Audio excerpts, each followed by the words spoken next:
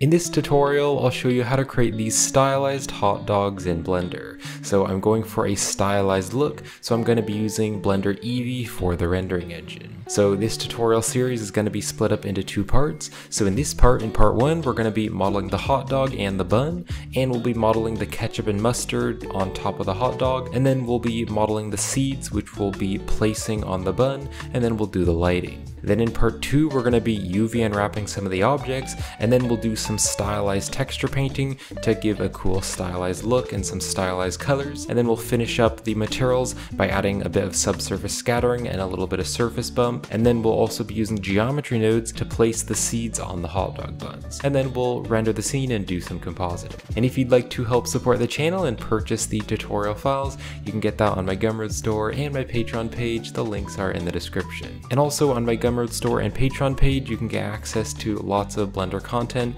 like 3D models and assets, tutorial files, artwork project files, procedural materials, geometry node modifier setups, and lots more Blender content on my Gumroad store and Patreon page. So if you'd like to make a one-time purchase of one of my products, my Gumroad store is a great place to do that, or if you'd like to help support the channel monthly while getting access to lots of Blender content, then my Patreon page is a great place to do that. Now I wanted to upload these stylized hot dogs to Sketchfab Sketchfab so that I could preview them on my Sketchfab profile in my browser. And so to do that, I had to texture bake the models. Now Blender's default texture baking tools are a little bit hard to use, so I use this really great Blender add-on which makes texture baking so much quicker and easier to do. AutoBake is a really great Blender add-on for easy texture baking. Select the object that you want to bake and then you can add any of the texture maps in the bake list. You can then change many of the settings like the name of the texture, the texture resolution, and where you want the add-on to export the textures. Then just hit the auto bake button and the add-on will automatically texture bake all the textures and save them as files on your computer. You can find my full add-on review video with the link in the description, and if you purchase the add-on through my affiliate link, you'll be helping to support this channel.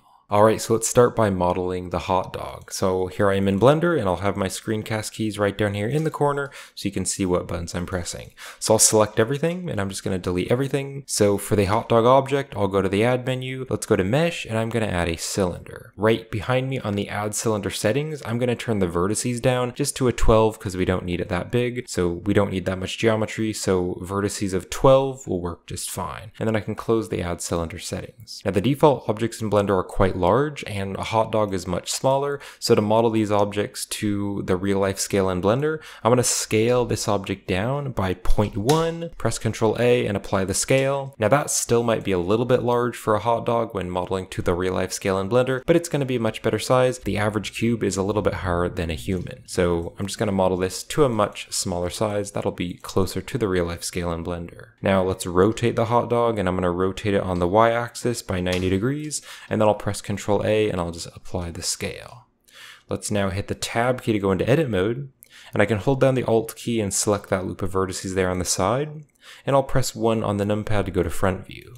And I can just start to extrude this by hitting the E key, extrude that out and you can hit the R key to rotate and extrude it out again, kind of rotate it over a little bit. So I want the hot dog to slightly move up on the edges. So we'll extrude that out again, rotate it. And also on the edges, it's gonna be scaled up a little bit. So I'll scale it up a little bit, just scale out the vertices there, extrude that out again. And then we can kind of scale it down a little bit, extrude it out again and scale it way down. That might be a little bit too long. So I'll go to wireframe. Let's deselect everything and kind of move this back a little bit. Deselect everything, just box select that there and move it back a little bit. All right, let's box select the other side and we'll extrude out the other side and rotate it and scale it. Make it a little bit bigger. Just have it slightly get larger on the end to kind of give it a stylized look. And then we'll scale it down, extrude it again and scale it down. Although I think it still is a little bit too long. So we can bring this in here and maybe this loop here, just scale it down a little bit because I want it to be pretty subtle. And over here on this side, I'll box select this side,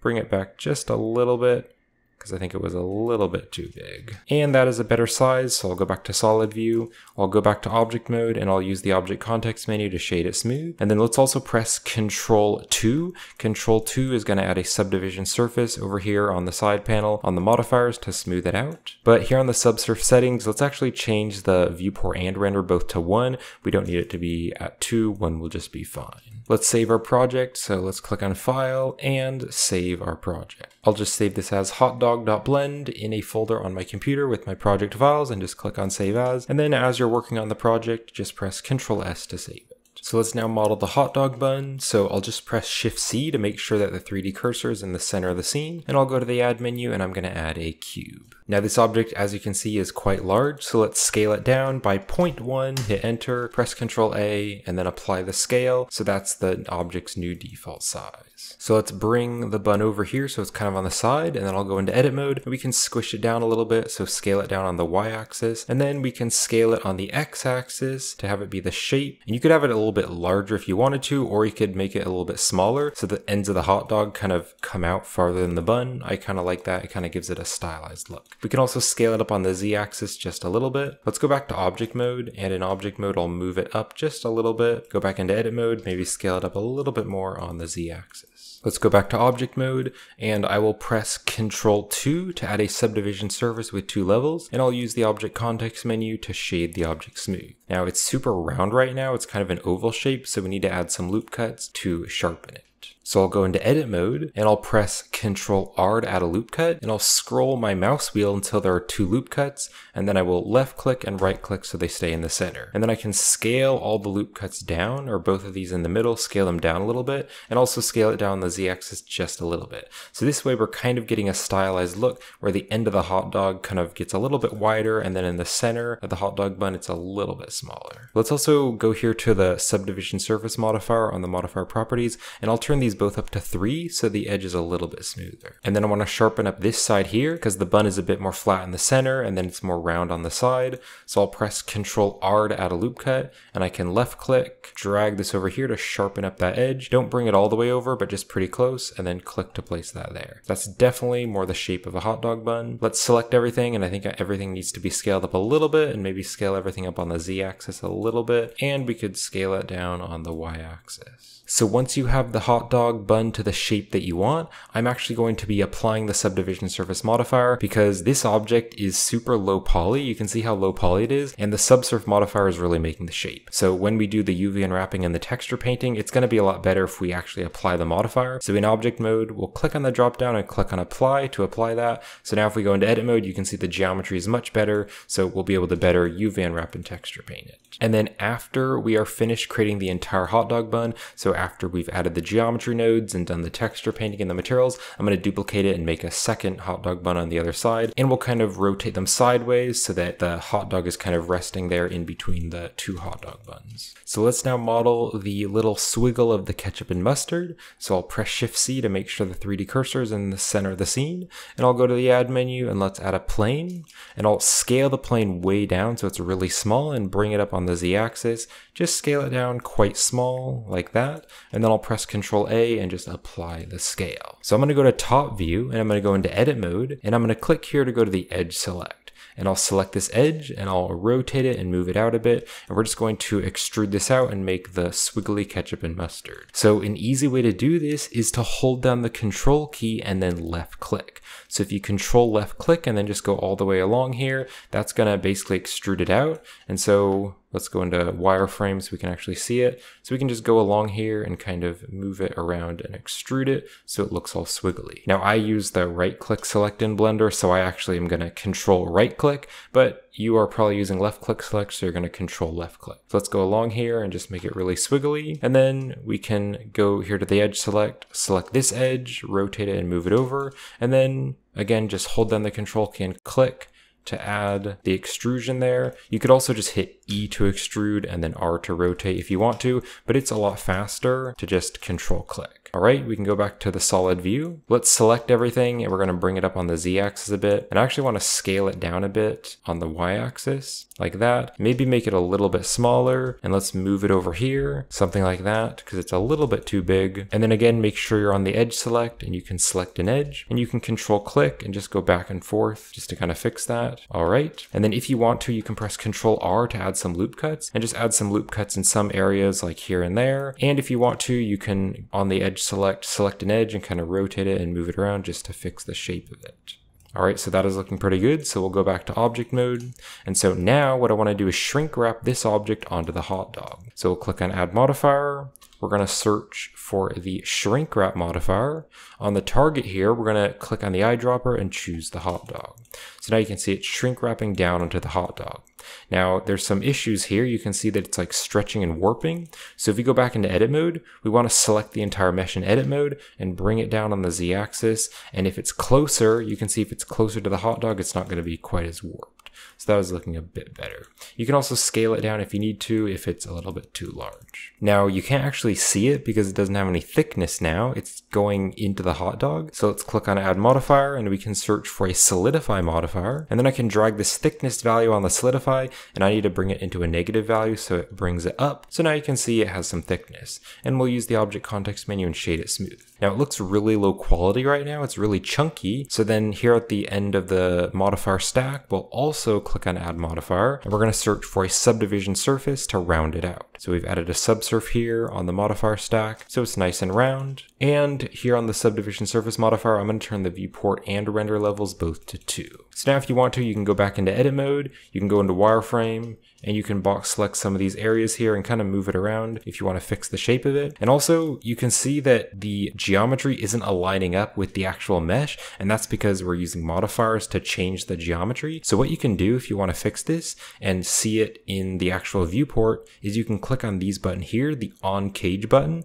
So you can click on that one there on the shrink wrap. You can also click on that one there on the solidify and then you can click on that one there on the subdivision. And this way, now you can just select the geometry and you can move it around and it's going to adapt in real time. So that just looks a lot better. It's much easier. You can see sometimes it's still warped a little bit, so you might need to scale it up or move it around, but this is just a much easier way to edit the mesh. I might want to box select this, kind of rotate that over. Also, I'm going to select the entire mesh in edit mode and I'm going to bring it over on the y-axis so it's over here on the side. And then I'll go back to object mode and in object mode, I will press shift D to duplicate it and bring this over this way. That way we can have two of them. So one of them will be the ketchup and the other one will be the mustard. And then also one more thing that I wanted to do, if I select one of these, you can see it almost looks like it's floating a little bit. It's not really floating, but it's just really high up. And it would kind of make sense that it would kind of move down a little bit and be a bit more flat. So what we can do to fix that is to go here to the solidify modifier and on the offset here, we can just drag this offset to bring it up and down.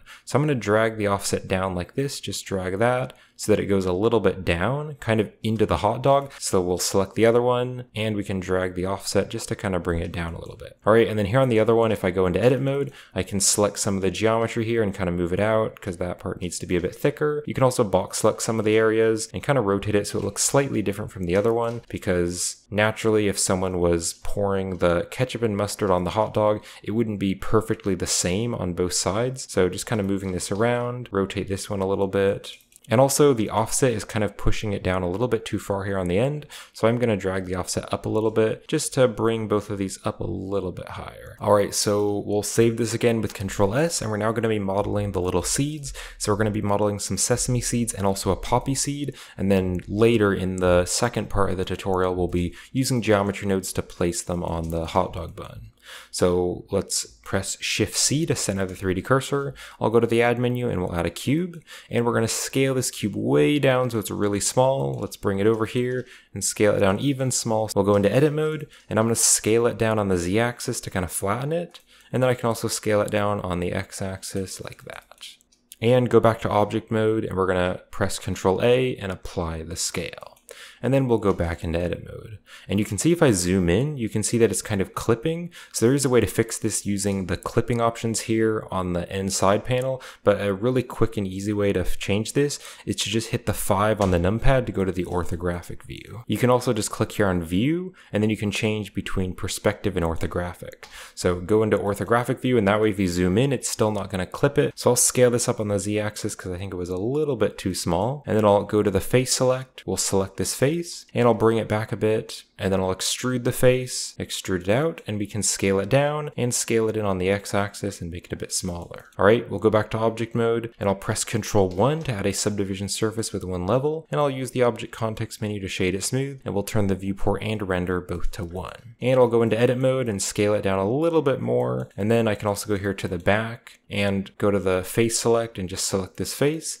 and I'll scale it up a little bit so it's a bit longer, just like that. So we kind of have a little sesame seed. And then let's apply this subdivision surface modifier. So I'll click on the drop down and click on apply. So now it is actual geometry. Now in edit mode, I also want to select the entire thing and I want to bring it over on the Y axis because I want the origin point to be about in the center there. So something like that. Let's go back to object mode now, and I want to duplicate them and make a few of them. So there's a few of them and they look a little bit different. So I'll press Shift D to duplicate this, bring it over. I can go into edit mode and I'll scale this down a bit and scale it down on the Y axis like that. And then in object mode, I'll duplicate this again go into edit mode and this one I'll scale down so it's really thin. So we have a big one, then we have a little bit thinner one and then an even thinner one. And then I also want to create a little poppy seed, which is going to be kind of a round little circle. So what I'll do is go to the add menu and I'll add another cube and the cube is quite large. So I'll scale it down really small and let's bring it over here close to the seeds and bring it over here to the side and I'll scale it down even smaller. So it's very, very small, maybe a little bit bigger. Something like that is pretty good. We can then press press Control A and apply the scale. So that's the default size of the object. And then if I go into edit mode, I want to squish it down. So we'll scale it down on the Z axis. I'll go back to object mode and I can press Control 1 to add a subdivision surface with one level. And then let's just click on the drop down and apply that. So it is actual geometry now. And then I'll use the object context menu and shade it smooth. All right, so we have the three sesame seeds and we also have the poppy seed. So what I want to do is put these into their own collection so we can use them later with the geometry nodes. So I'll click and drag to box select all the seeds. We'll press the M key so we can move them into a new collection. We'll click on new collection and I can just rename this to seeds and click on OK. So here in the outliner, we now have a seeds collection with all the seeds. So let's zoom out here and I'll hit the 5 on the numpad to go out of the orthographic view. So we're almost done with this part, but I want to do some lighting, and then in the next part we'll be doing the texture painting and the materials and setting up the scene. So let's click over here to go to the render properties, and here on the render engine I'm going to use Blender Eevee because I'm going for a stylized look, so Eevee will be great for that. And then also let's turn on the ambient occlusion and also the screen space reflections. Those are important to make Eevee look a little bit more realistic. And if you want to, you can hold down the Z button and go into the rendered viewport mode, but we don't really have a light right now. Let's also scroll down here and we can open up the color management. And on this view transform here, I'm going to use the view transform of Filmic. And then on the look here, I'll change this to very high contrast to pop out the colors and make things look more saturated. And I also want to use a transparent background. So if you open up this film tab right here, you can check mark the transparent button so the background is transparent. And then we'll be rendering the scene and adding a simple background in the compositing. Now I also want to add some HDRI lighting as well as a sunlight So let's go to the add menu and I'm going to go here to light and I can add a sunlight and I'll rotate the sunlight over. I'll bring the sunlight up here, kind of rotate it down a little bit, something like that. And then if you click here to go to the object data properties of the light, I'm just going to turn the strength up to like a four so it's a bit stronger. So this way we have a main light source, but the lighting really doesn't look good right now because it's very gray. And so I want to add an HDRI in the background to add some realistic lighting and reflections. So let's click over here on the world properties and right here on the color on the yellow dot here, I'll click on this and I'll choose environment texture. And then I'm going to click on the open button and I'll open up an HDRI. And this is the HDRI that I'm going to be using. So this is a free HDRI from polyhaven.com. The link will be in the description if you'd like to download it. It is the Aerodynamics Workshop HDRI, and I downloaded the 1K version and the HDR version on Polyhaven. So once you download the HDRI, you can go to wherever you have it and you can select it and click on open image. So you can already see the lighting looks a lot nicer. You can kind of see there's some like red kind of reflections and it's quite a bit brighter and the lighting looks a lot nicer. So let's save the project again by pressing Ctrl S, and this will wrap it up for this part of the tutorial. So I hope you're enjoying this so far, and thank you for watching. And in the next part, we're going to be UV unwrapping the objects, we'll do the texture painting and the materials, and then we'll set up the scene. We're also going to use geometry nodes to place the seeds on the bun, and then render the scene and do some compositing. So when the next part is released, it'll be right up there on the end screen, and I'll have the link in the video description. And you can also help support the channel by purchasing the finished project files on my Gumroad store and Patreon page, so if you're interested in purchasing the project files, the links will be in the description. So thanks for watching, and I'll see you in the next part.